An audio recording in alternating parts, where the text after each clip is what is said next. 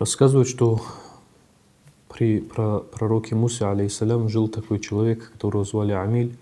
Он был богатым человеком, у которого было большое наследство, и после него это наследство передавалось только его двоюродному брату. И через некоторое время его находят мертвым. И никто не знал, от чьих рук он умер. А, подозревали разных людей, подозревали его двоюродного брата и так далее. И люди, родственники Амиля, обратились к пророку Мусе, алейхиссалям, за тем, а, чтобы найти виновного, найти убийцу, и позвали тех, кто, кого они подозревали. И тогда пророк Муса, алейхиссалям, обратившись к Торе, Таурату, то есть э, Писанию того времени, закону Всевышнего Аллаха, и нашел обе стороны равными, по той причине, что у них не было доказательств того, что они являются убийцами, и у них были доказательства в пользу того, что они не убийцы.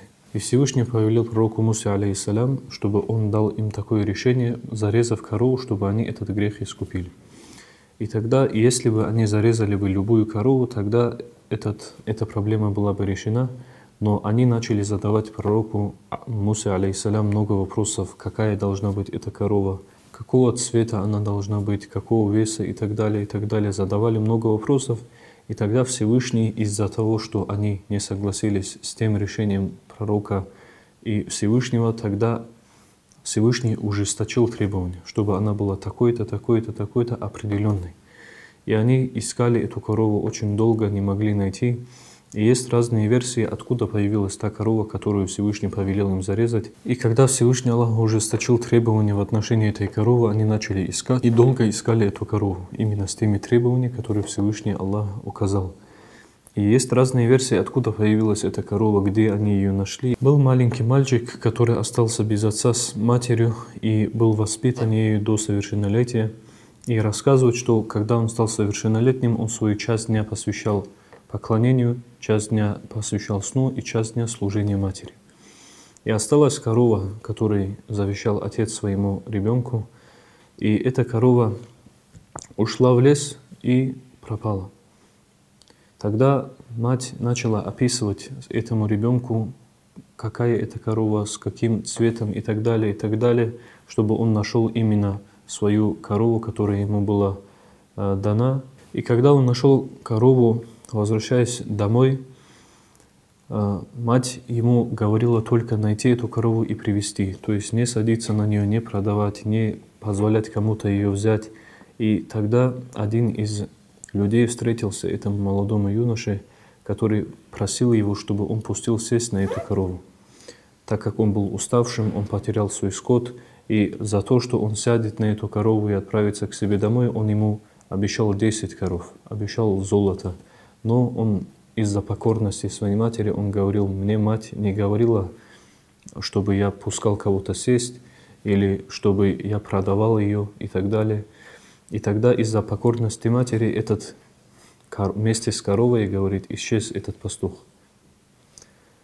Через некоторое время перед ним опять появляется корова, и ангел обращается этому юноше и говорит, это был Иблис в обличии человека. Перед тем, как найти корову, мать обучала сына словам, каким образом он должен эту корову звать, для того, чтобы она не убегала от него. И когда он возвращался, уже нашел корову, возвращался домой, к нему навстречу э, пришел пастух, который остался без своего скота. Он говорит, что скот покинул его, он очень устал, и ему нужен, э, нужна его корова для того, чтобы он сел на нее, отдохнул и отправился домой. И мальчик говорил, что мать не говорила мне пускать кого-то сесть на эту корову. Тогда он начал предлагать ему 10 коров взамен – просто чтобы сесть, отдохнуть. Тогда мальчик из-за покорности матери говорит, что мать не пускала ему ее продавать и так далее. И не пустил сесть этого пастуха на корову. Тогда через некоторое время этот пастух вместе с коровой исчезает перед ним. И он начал звать теми словами, которые научила мать этого сына, этого мальчика, словами звать эту корову, и она появилась перед ним – и она рассказывает ему, это был Иблис в обличии человека, который хотел, чтобы ты, ослушавшись мать, таким образом потерял меня. но ангел перехватил меня за уздечку и привел к тебе. И тогда этот мальчик отправился с коровой домой.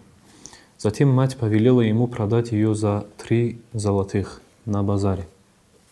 Когда он отправился на базар, к нему пришел торговаться ангел в обличии человека и просил его продать за шесть, не говоря матери. Тогда он говорил, что мать попросила меня посоветоваться с ней перед тем, как я ее продам, отправился опять домой, спросил у матери, можно ли ему продать за шесть, и мать разрешила, опять он отправился на рынок. Затем ангел предлагает ему следующую сделку за 12 золотых. Он говорит, что мать не говорила мне продавать за 12, опять отправлялся к матери. И мать уже поняла здесь какая-то мудрость, что здесь есть какая-то мудрость, и это не человек приходит к тебе, а ангел для того, чтобы тебя испытать. И таким образом, когда он отправился на рынок, уже понял, что это ангел, он обращается к нему и спрашивает, для чего и так далее ты хочешь купить эту корову. И ангел говорит, что эту корову должен купить у тебя пророк Муса, алейхиссалям. То есть те люди, которым пророк Муса повелел, чтобы они нашли именно такую корову, которую Всевышний им указал купить. И тогда э, говорят, что пришли дети Израилевы, то есть потом, э, то есть племя пророка Мусы, алейхиссалям, и купило эту корову у него за стоимость по весу этой коровы. И тогда они купили э, за золото эту корову по ее весу. И тогда, когда они купили эту корову, зарезали, то есть принесли в жертву Всевышнему, Всевышний через пророка Муса, алейхиссалям, повелел им, чтобы они одной частью э, этой коровы дотронулись до мертвого Амиля, которого убили, и он заговорит и скажет, назовет имя убийцы. Говорят, что это был копчик, говорят, что это был язык, то есть этот орган, которым они должны были дотронуться. И когда они дотронулись, он назвал имя убийцы. И таким образом было разрешено то дело, а, которое разбирал сам пророк Муса, алейхиссалям.